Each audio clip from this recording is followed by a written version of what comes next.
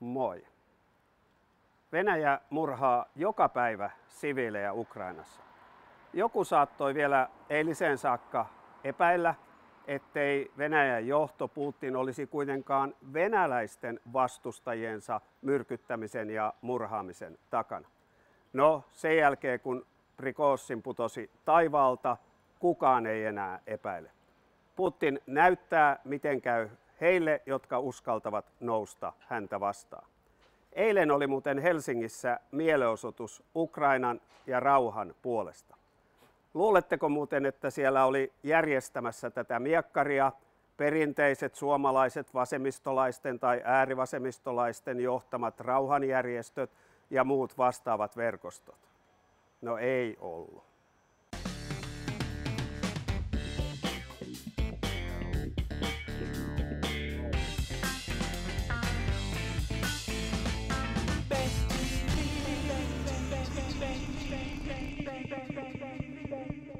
Ihmettelette ehkä näitä puitteita. Ei todellakaan olla eduskunnassa, vaan ollaan täällä Aalto-yliopiston kampuksella Otaniemessä, missä pidämme kokoomuksen eduskuntaryhmän kesäkokousta. Viime BenTVssä puhuin siitä, miten ammattiliitot valmistautuvat poliittisiin lakkoihin tarkoituksenaan estää kansan valitsemaa eduskuntaa säätämästä sellaisia esimerkiksi työelämään tai sosiaaliturvaan liittyviä lakeja, joista ammattiliitot eivät pidä. Tällaisten poliittisten lakkojen tarkoituksena on siis painostaa hallitusta ja eduskuntaa luopumaan joistakin aikomistaan lainsäädäntöhankkeista. Nämä lakot tehdään vain poliittisen painostuksen merkeissä. Ne eivät liity omiin työehtoihin suoraan ja ne tehdään tilanteessa, jossa on voimassa työrauhavelvoite, koska on voimassa oleva työehtosopimus.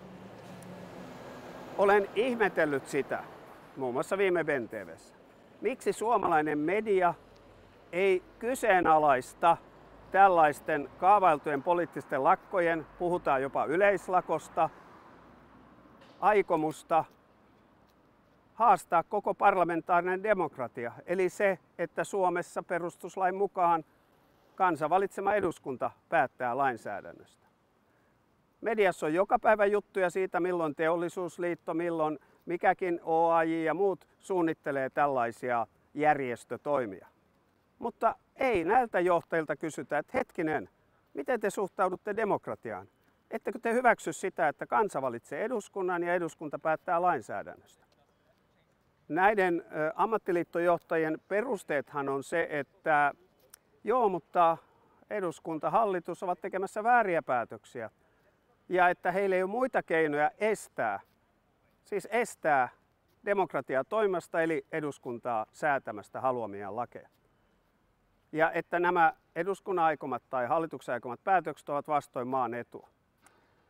Mitenköhän suomalainen media suhtautuisi, jos vastaavalla logiikalla hallituksen toimintaan tyytymättömät kenraalit, tämä ei koske nykyhallitusta, marsittaisivat joukkonsa ja panssarinsa eduskunnan ympärille ja sanoisivat, että ei meillä ole muuta keinoa estää eduskuntaa huonontamasta meidän olosuhteita ja toimintaedellytyksiä.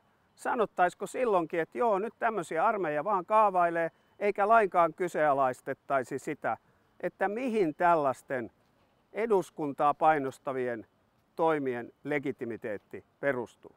Ja selvennyksen vuoksi vielä. Hallitus ei ole pikkusormellaankaan puuttumassa varsinaiseen lakko-oikeuteen, eli siihen, että palkansaajat saavat lakkoilla silloin, kun ei ole voimassa olevaa tessiä parempien työehtojensa puolesta. Se, mitä hallitus haluaa rajoittaa, on juuri tämä demokratian ja parlamentarismin vastainen hallituksen ja eduskunnan toiminnan estäminen eräänlaisilla pakkokeinoilla. Viime päivien kiinnostavimpia poliittisia puheenvuoroja on ollut keskustan puheenjohtaja Annika Saarikon vihjailu siihen suuntaan, että keskusta voisi oppositiosta käsin äänestää hallitukselle luottamusta tässä syrjimättömyystiedonantoäänestyksessä syyskuun alussa. Keskustahan käy tällä hetkellä eräänlaista eloonjäämiskamppailua. Sen on pakko päästä tilanteeseen, jossa perussuomalaiset ovat hallituksessa, keskustaa heitä moittimassa oppositiossa ja toivovat sitä kautta paluumuuttoa äänestäjien piirissä omiin riveihinsä. Mutta siitä huolimatta, miksi Saarikko vihjas tuesta hallituksella? No mä uskon, että ensimmäiseksi ja tärkeimmäksi syy on siinä, että kun he olivat ensin punavihreiden kanssa hallituksessa ja siitä tuli pataan, niin nyt ne ovat samojen punavihreiden kanssa oppositiossa RKPtä lukunottamatta. Ja nyt on riski, että siitäkin tulee pataan, jos heidät samaistetaan tähän punavihreiseen oppositioon. Näin ollen irtiotto muusta oppositiosta oli mielestäni Saarikon puheenvuoron tärkein syy. Toinen syy saattoi olla se, että he pyrkivät sekoittamaan vähän hallituksen ja RKPn peliä sillä, että RKPssä ajateltaisiin, että no nythän meidän ei tarvitse sitten Purran puolesta äänestää, kun siellä kepu tukee. No eihän se näin mene. Jos yksikin hallituspuolue, eli käytännössä RKP, äänestäisi epäluottamusta Purralle, niin totta kai Purra vetäisi joukkonsa hallituksesta riippumatta siitä, että hallitus saisi keskustan tuella enemmistön eduskunnan äänestyksessä. Kolmas ja mielenkiintoinen syy on mielestäni se, että myös keskustan äänestäjät ja kenttä on antanut hyvin paljon positiivista palautetta hallituksen ohjelmasta, varsinkin yrittäjyyttä koskevista ja tukevista kirjauksista. Ja kun he saavat omalta kentältään positiivista palautetta hallituksen ohjelmasta, niin ehkä heille tulee vähän tarvetta osoittaa, ettei me nyt olla koko ajan tätä hallitusta kaikkeen kaatamassa. Ajankohtaisista hallituksen kaavailuista esillä on ollut muun muassa ministeri Sanni Granlaasosen ilmoittama aikomus nostaa kelakorvauksia terveydenhuollossa, jotta ihmisiä siirtyisi sieltä ennen kaikkea perusterveydenhuollon jonoista sinne yksityispuolelle, jolloin jono vetää paremmin. No nyt sitten tätä on arvosteltu, että hei, eihän niillä köyhillä ihmisillä ole kuitenkaan varaa mennä sinne yksityiselle, vaikka kelakorvaukset nousee.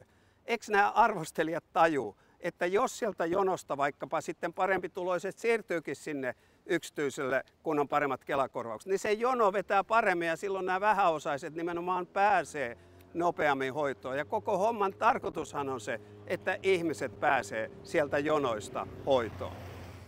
Ja viimeisenä aiheena. Nyt on tosi mielenkiintoista uutta asiaa presidentin vaaleista. Taasko aika loppu? No, ensi kerralla. Moikka!